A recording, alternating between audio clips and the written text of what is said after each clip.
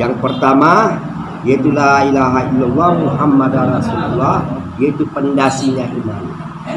Yang kedua sholat khusyuk wal wudu niatnya iman. Yang ketiga yaitu ilmu majikir buahnya iman. Yang keempat ikramul muslimin manisnya iman.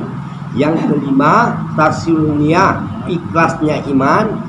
Yang keenam dakwah wa tabligh sempurnanya, sempurnanya iman ya yang pertama La ilaha illallah Muhammad Rasulullah yaitu Pondasi. pondasinya iman. Terus yang kedua sholat khusyuk wal kudu niatnya iman. niatnya iman. Yang ketiga khusyuk wal terus yang ketiga. Ikramul muslimin. Ilmu mahajikir itu lah buahnya. Niatnya apa iman? Buahnya. buahnya iman. Terus yang keempat tasyihun niat. Yang kelima ikramul muslimin. Manisnya iman. dengan ikramul muslimin akan terasa manisnya iman. Terus yang kelima tasyihun niat. Ikhlasnya. Ikhlasnya iman yang keenam dakwah. wa tabligh adalah sempurnanya iman seorang dai pak. Iya insya Allah pak. Lanjut pak. Enam kerangka iman. Yang pertama la ilaha illallah Muhammadur Rasulullah fondasinya iman. Sholat khusyuk wal kudu adalah niatnya iman. Yang ketiga ilmu ma'al zikir yaitu buahnya iman. Yang keempat ikram muslimin manisnya iman. Yang kelima tasihuniyah ikhlasnya iman yang keenam dakwah wa tabligh sempurnanya iman. Allah.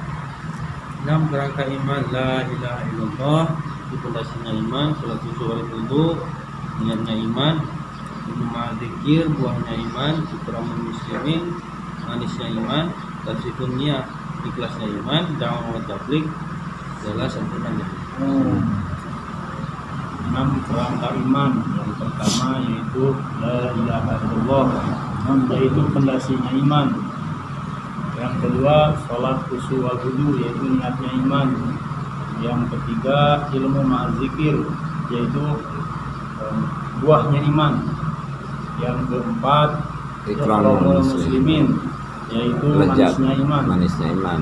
Yang keempat eh, yang yang kelima kelima yaitu ikhlasnya iman. Ikhlasnya iman. Yang keenam dakwah tabligh sempurnanya iman enam kerangka enam kerangka dakwah. Enam kerangka iman. Enam kerangka iman. iman. Yang pertama la ilaha illallah Muhammadur Rasulullah. Itu pondasinya iman. Fondasinya iman. Yang kedua salat khusyuk sholat khusyuk wal kudu niatnya niatnya iman. iman. Yang ketiga Ketiga. yang memadzikir buahnya iman yang keempat ikramul muslimin manisnya iman yang kelima kasih huniah ikhlasnya iman. Yang keenam dakwah wa tabligh sempurnanya iman. seorang dai rangka iman. La ilaha illallah muhammadur rasulullah. Eh, pondasinya iman. Sholat khusyuk wal kudu niatnya iman ilmu ma'azikir buahnya iman. Tas, eh, muslimin. muslimin nikmatnya iman. Manis manisnya manisnya iman. tasihuniyah ikhlasnya iman. Dakwah wa tabligh sempurnanya iman. Seorang dai Alhamdulillah kenapa la ilaha illallah Muhammad Rasulullah? Karena Rasulullah mendakwakan kalimat la ilaha 13 tahun. Setelah 13 tahun baru ada perintah sholat khusyuk maka sholat mereka itu menjadi hikmat. Sholat dua rakaat bisa menyelesaikan masalah sholat dua rakaat bisa menghidupkan unta. Mereka bukan minta unta. Maka dengan ilmu majiki mereka mendakwahkan iman. Maka kata Rasulullah kalau mau belajar ilmu dekat dengan aku. Maka ini buahnya. Nah manisnya ini ikramul muslimin. Maka sekarang terbukti di India seluruhnya makan gratis. Maka di India ini berat kita meninggalkan India. Seakan-akan kita mau kembali lagi karena manis ikramul muslimin sana Hmm. memang wujud agama. Nah, yang keempat yang kelima ini kenapa tasminia maka ikhlas mereka dengan diri kita. Begitu juga kita.